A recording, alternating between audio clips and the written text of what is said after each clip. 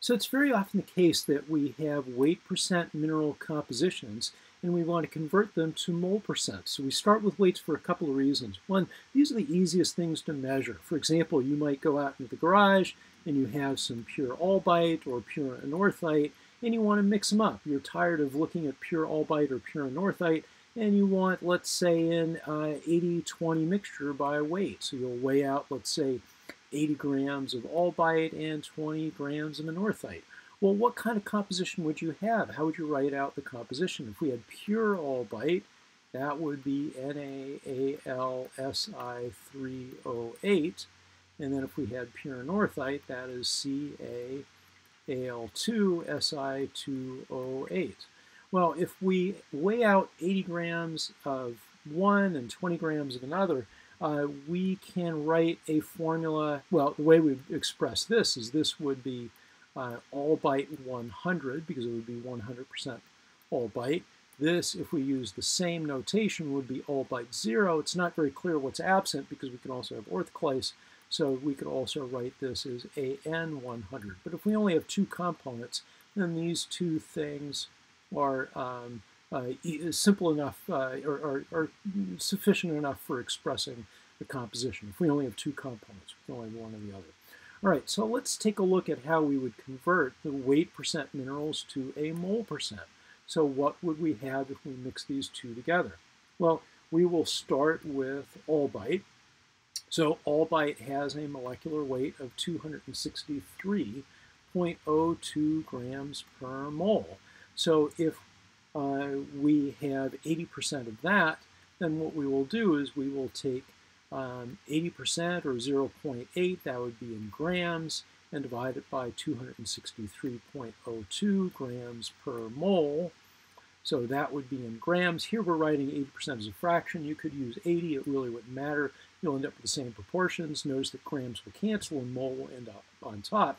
And so we'll have the total number of moles of albite. For anorthite, we'll play the same game. Anorthite has a molecular weight of 277.41 grams per mole. And so if we want the molecular proportion, not the weight proportion, but the molecular proportion, we'll take the weight, 0.2 grams or 20 grams. If you use, if you use uh, 0.8 here, you use 0.2 down here. If you use 80 up here, you use 20.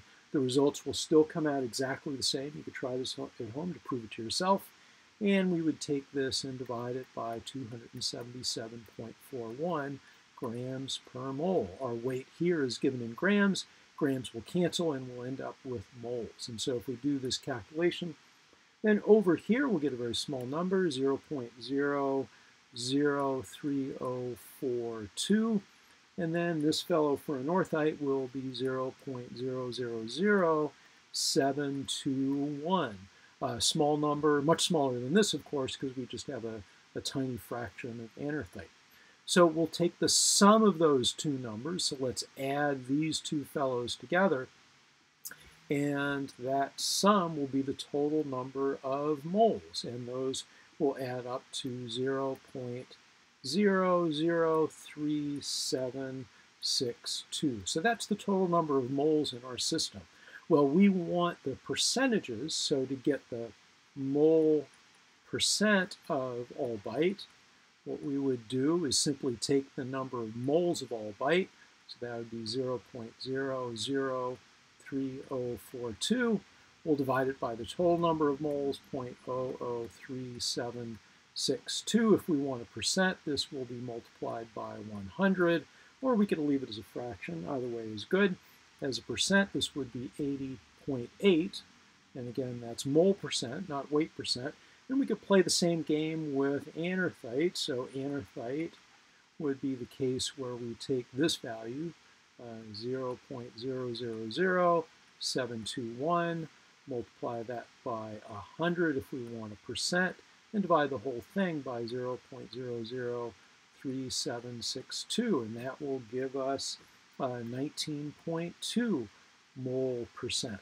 And the way we would express this, as we did with this kind of notation, is that this particular mixture that we've created in our garage would be expressed as albite 80.8, And if there are only two components, then that would be equivalent to anorthite 19.2. These would be the same. Now, if you have an orthoclase component or other things dissolving in the structure, you might want to just write this out as AN 80.8, and then, oops, not all, not anorthite, that would be all albite, and then AN 19.2. And if there's the possibility that the orthoclase might be in the structure, you can add that and just say there's a zero. We didn't have any orthoclase, maybe we don't have any material like that in our garage, so when we cooked up this mixture, we just ended up with a zero total amount.